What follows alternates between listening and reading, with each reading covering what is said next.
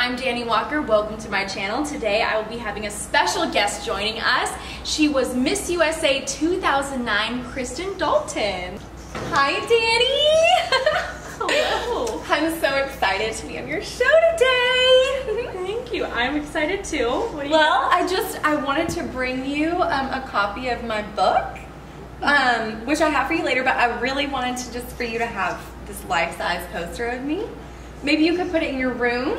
Yeah. Above my bed. Yes, like, and I can even sign it for you. Maybe Yeah. like, maybe after the show. Yep. Are you excited? Yep, that would be good. Okay. I mean, I made it like life size just for you because I knew you were a fan. thank you, Kristen. Yeah, you're welcome. You want to like leave it in the shot though, like Yeah. throughout the whole thing, so we can Maybe- just like just promote it a lot. Oh, Just a little bit over No? here. A little bit. Oh, over. okay. That's good. Welcome to my channel. Please subscribe if you are new and follow me on social media at Dani Walker. And today I am here with none other than, well, you should recognize her if you do pageants. Really, you should anyways. But uh, Kristen Dalton, Miss USA 2009, and we are here to talk about her new book that's coming out, The Sparkle Effect. So, first of all, tell me what The Sparkle Effect is all about. OMG. Well, I'm so excited. Thank you so much for having me here. You might have heard people talk to girls when they're coaching them or just in general, like there's this thing about her and people call it the it factor. Yes, yes. the it factor. And I have a problem with the it factor. And the reason why is because it's not clearly defined. It's this mysterious thing that girls are kind of expected to just like turn on or to just like fake it till she makes it because she's like I don't know what that is. It's just meant for some girls like are you born with it? Like can I have it too? And I just feel like it's kind of unfair. When I was competing for Miss USA, I was not a front runner.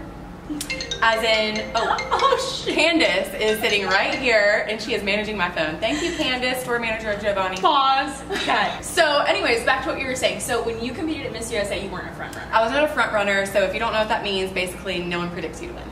I just want to say that just because you're not on people's radar does not mean that you're not on God's radar. I was like, okay, even though other people aren't seeing it, I'm gonna prove them wrong. the night that I won, the head judge came up to me and she was like, hey Kristen, I just want to let you know that when they announced the top 15, um, all the judges leaned into me and they were like, how do we know who to pick? All these girls are pretty. And she was like, You're gonna see it in one girl. It's the girl who sparkles. It's in her eyes and in her smile. And I was like, great. That's awesome. Um, but I didn't really understand the magnitude of what she was saying until I started judging pageants and coaching girls, working in women's ministry, uh, modeling, being out here in LA, going on auditions. And I saw firsthand that it was true. Like, there's these girls that are they are beautiful and they have like the resources and the following and the wealth and the status and the great boyfriend or husband who like foots the bill or whatever it is but there are some girls that have this thing about them Yep. it's this sparkle this radiance this warmth that draws you to her Warmth because she has word. Mm-hmm. warmth because she has this comfortability with herself and when you have comfortability with yourself then other people have other people feel comfort and Right. they feel at ease with you. This whole started when I got invited to do a TED Talk, and I was like, what am I going to talk about?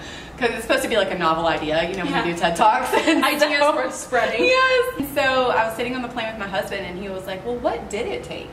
For you to have that sparkle. And I was like, You're right, like I need to define this. And so I spent a few years kind of breaking it down what does it take? So I don't call it the it factor, I call it the sparkle effect because every woman can have it. Love we that. are made to have it. It literally says in the Bible that we're called to be like a light, like a city on a hilltop that cannot be hidden.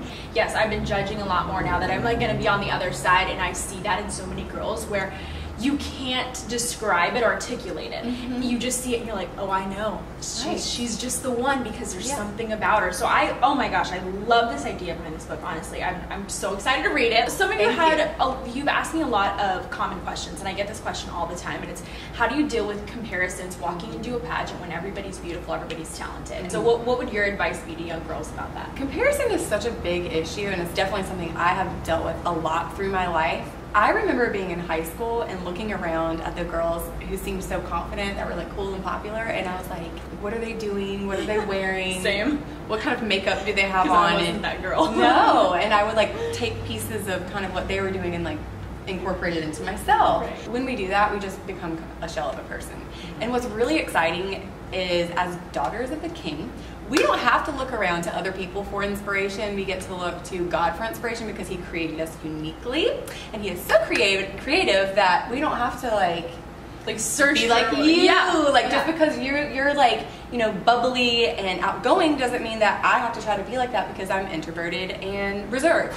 I'm not saying that I am reserved because I would never clearly call I'm you not, reserved. but I am introverted. What I want to speak to um, in terms of comparison, what I feel like is so powerful is discovering who God created you specifically to be. Before we were formed in our mother's womb, He knew us which means he came up with the idea of us and he pulled like pieces and characteristics of him and infused it into you. He was like, oh, this is a great idea.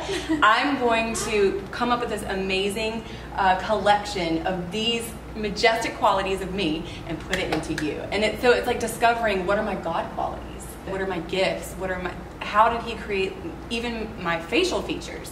Uh, blue eyes, like, you know, like, how did he create my my body and not try to fit into a certain body type because Right. it's like the cool thing like just because like skinny jeans are in does not mean that we should all be wearing skinny jeans you know what i'm saying like sometimes we need to like look in the mirror and be like how did he make my body and how can i best how can i best honor it There are certain things that I just like won't wear, certain things that I'll wear over and over and over, just because I'm like, this is what I have to work with, and this is what looks best on it. So like always going for that. Mm-hmm. But I do want to touch on something you were kind of mentioning, and it's the idea of like not necessarily. I mean, I think it's cool to be inspired by other people. When I talk to a lot of my other sister queens at USA this year, who like myself competed for years and years and mm-hmm. years. Right.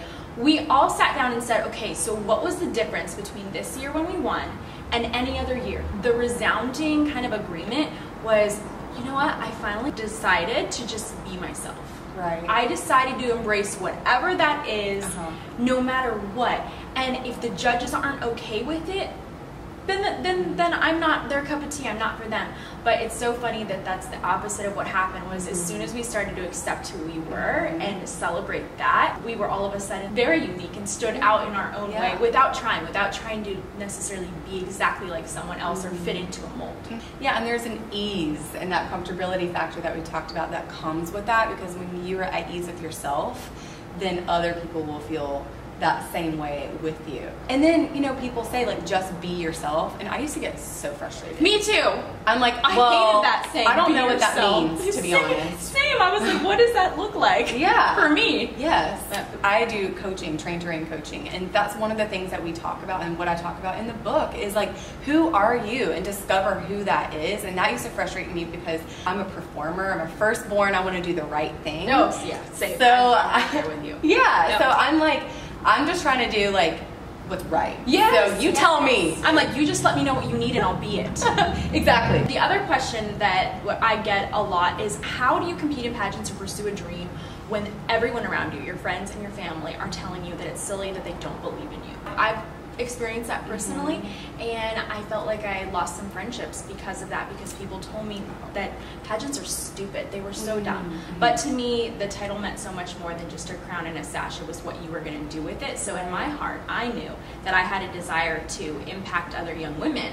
And that just happened to be the medium that I was going Right. to use. Exactly. But, but what do you think when I'm sure you've even had clients who have families who aren't supportive? If you are feeling that way, I just want to encourage you to press in because oftentimes we don't fit into our family mold or to our friend mold.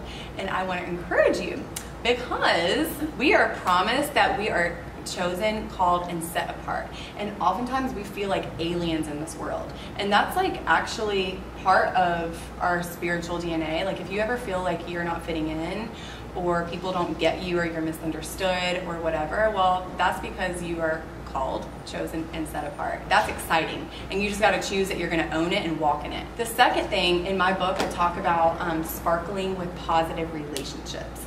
So if you don't have family or friends who are on board, you're gonna have to find some people because it's tempting to fall into the trap of like, oh, I'll just blaze, blaze, blaze my own trail and do this on my own. You have to find support. You have to find people who care about you. One of the positive relationships I talk about is a coach. Sometimes you gotta hire a coach. Sometimes you wanna find a, a mentor, a spiritual mentor, someone who isn't gonna struggle with jealousy towards Oh, you. yes. Like someone who's Yes. older than you, someone who's not in your field, Not someone who's not competing. competing with you Yes. at all. Sometimes even a boyfriend or fiance. As long as he is making you feel like a treasure, then you know you're with the right guy. But if he makes you second guess yourself or makes you feel insecure, hashtag needs to go. Because it doesn't matter if it's a pageant or whatever goal you have, if somebody's not going to be supportive of that, as long as it's not hurting you, you know, as long as it's not something mm-hmm. that's like harmful to you. If they're not supporting that, then you really don't need that in your No, life. It- it's a red don't flag, and a lot of times as girls, we try to like make excuses for the Right. guy and try to see his perspective, blah blah blah.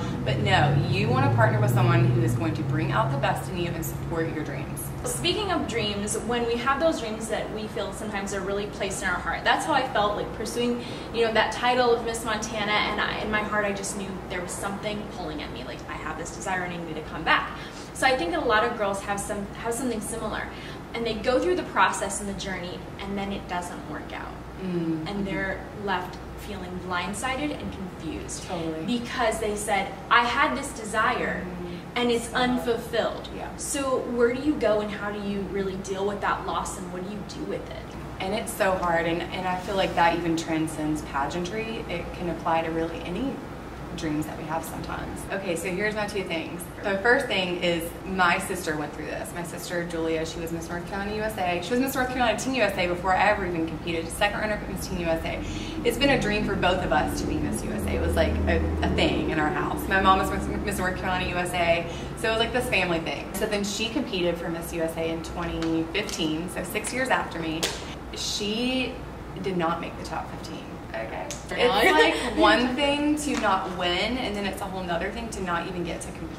When you have literally had this dream in your heart since you were a little girl, for her it was a hope. It was this thing that she held on to during hard times that kind of kept her anchored. She was like, "It's okay. I can get through this." this emotional abuse or I can get through this breakup or I can get through this disappointment because I am like preparing to to be Miss USA. It was a hard thing to process because she felt like God gave her that desire. And so she, she almost felt duped and humiliated and let down by him. Right. Because she's like, why would you even give me that? Yeah, that desire. To then leave me alone on stage, like in the background, humiliated. The, so the first thing I'll say is sometimes in life there are things you just, we just sometimes will never understand. But we have to trust that God works out everything together for our good and for His glory. So we have to look for, okay, how is He trying to work something out in me, even though it's like, did you really have to do that? and for His glory, and choose that we're gonna we're gonna honor the pain because there is something along the along the way that He has done to prepare you to be a queen. Because we are all queens in this life, regardless of if we wear a crown. Sometimes I feel like God gives us a dream to use it to be that hope. Because even if you don't win like you said like pageantry is the was like the vessel or this is the platform of how you're going to help people. Yes. it's like sometimes he will use pageantry as stupid as it might sound to family or friends to train you up in something. Mm-hmm. Whether it be public speaking skills or confidence or your security or working out comparison finding out who you really are. And so actually seeing this whole journey as training ground because that is what this life really is all about is training for reigning because sometimes he gives you a dream um, so you will train up in something and you don't know what he's going to prepare you for. So now my sister lives in new york city. She is slaying it as a girl boss in her job. She can nail any interview uh, the hardest interview she's just like boom boom boom My cousin's just like that. So she had competed in pageants for 11 years and had one title that she had won. Granted, it was an international title, so she was very fortunate with that. She was first runner up, second runner up for like 10 years, 11 years. Man. And, but now every single job interview she goes into, she gets it. There are reasons that we go through certain things and there are things that we can grasp. And i kind of take it back to this idea of a growth mindset versus a fixed mindset. Mm-hmm. Growth mindset is more focusing really on your journey and the value of the, that journey and what you're getting from that. And that's really you know your prize. Fixed mindset who are people who believe basically that if i don't win i lose. If i go through a whole process and i don't come out on top then it was for nothing. Right. and then you miss the value. You miss everything that you could have learned in the process and all the growth that you could have had. So I really encourage a lot of girls to focus on that growth mindset mm-hmm. instead of a fixed mindset of just thinking that I only have value if I become Miss USA. Placing all of your self worth on that end goal Right. instead of the journey. I love all these points that we talked about today. This was amazing. Thank you so much for just sharing all of your advice and your experience. And I am so excited to read your book. And also, please give us information about this and when it's coming out, where we can get it, all of that. It releases on October 2nd. So exciting! Barnes and Noble, Amazon, Target, Walmart. Uh, I mean, all the places I think you can buy books. Um, and oh, but I really want you to pre-order it because if you pre-order it, um, I have a private Facebook group called the Sparkle Effect Queens. Um, so you can join our group, and I offer over fourteen hundred dollars worth of value and like live coachings, audio declarations, exclusive content, just for like the price of the book. So you should totes do it. Yes, and then where can they find you on social media so they can keep up with you all the time? Yay! At Kristen J. Dalton on Insta, and sheismore.com is my blog in case you want to just be inspired through articles and and all that jazz. I love that. I love that so much. Well, but yeah, really, thank you so much for just sharing with my audience here. I know that they're going to appreciate it. You guys, if you have other questions for Kristen as well, leave those in the comment section below. You should check those out, um, or obviously just find her on her social media and reach out to her. She's so sweet, and I'm sure she'd be happy to talk to you. And other than that, guys, thank you so much for We watching. just want to Oh. thank jo- Giovanni too. Oh yes, Giovanni thank you. LA I'm terrible. Thank you so much, Giovanni LA, for Yes. hosting us today. We are so grateful to have this beautiful space to film in. Obviously, this is an upgrade from what you guys normally see. I wish, I wish I could film here every day. Thank you so much, Giovanni LA. We Candice Cruz, she's a store Yes. manager here. She's the bomb.com. She's, like, over she used to compete in pageants. Yes. She is beautiful and awesome, and you should totes follow her too. Candice Yeah, Cruz. we're gonna Candice Cruz. we're putting that in the description as Yes. well. Follow Candice. Yeah, we love you. She's Okay. like right over there. Anyway, Thank you for having me. Thank you. I'm Thank honored. you so much. I'm, no, I'm honored. Oh my gosh, Miss USA on my channel right now. Thank you so much. We could literally talk to you all day. Tune in for the next episode and follow me on Instagram at Dani Walker and uh, submit all your video requests in the comments below. I can't wait to hear them and create new content for you. Yay! Bye. Bye. But I'm literally I sweating love this. like in the back between us. Wait, so do Did I record this? Thank goodness for good light and ba- and glittery background. Yes. Um, wait, so what do you want? Do We've you been filming. Look at us. Hi. I love it.